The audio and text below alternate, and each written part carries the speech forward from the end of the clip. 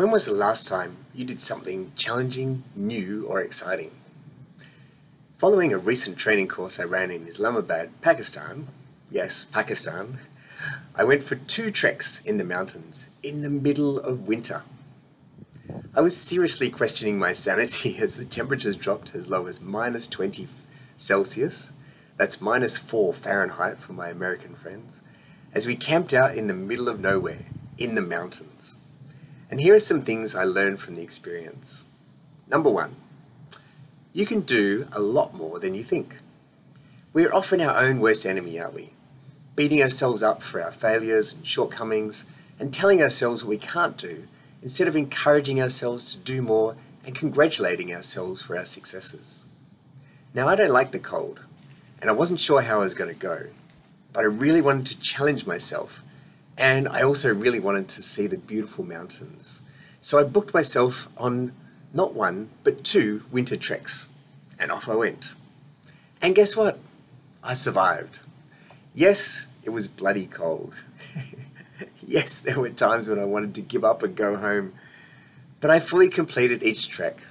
And I had some absolutely amazing experiences and proved to myself that I could do more than I thought was possible. Number two, you're not as important as you think. Sometimes we feel like our organizations won't be able to function without us. But guess what? They can. and they should. Let the people around you grow by taking a step back and allowing them to take more responsibility. Your team can also do a lot more than you think. Number three, it's good to disconnect. Being in wilderness areas often forces you to disconnect from the world. But is it really essential to be up to date on everything all the time? Just disconnect for a while. Enjoy the rhythm of nature. And create some space to think and reflect. And it's amazing the ideas, the creativity, and the perspectives that this brings. Number four, the greatest joy comes after the greatest struggle. Both my treks were hard, really hard.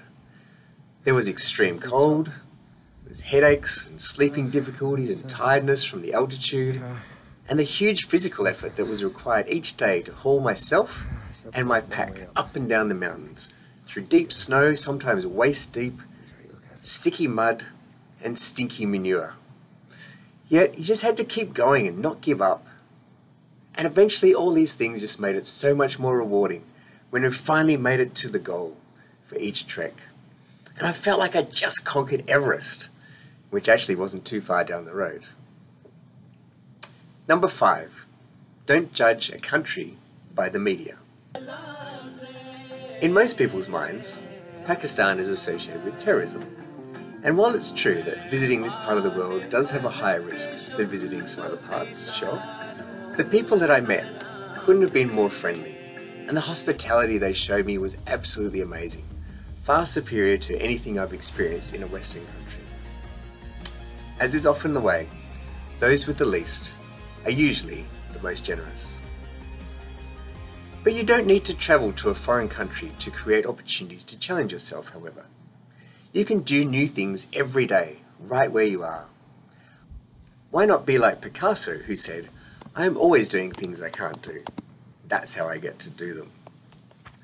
Because that's how we learn, that's how we grow, and that's how we discover. Enjoy your journey.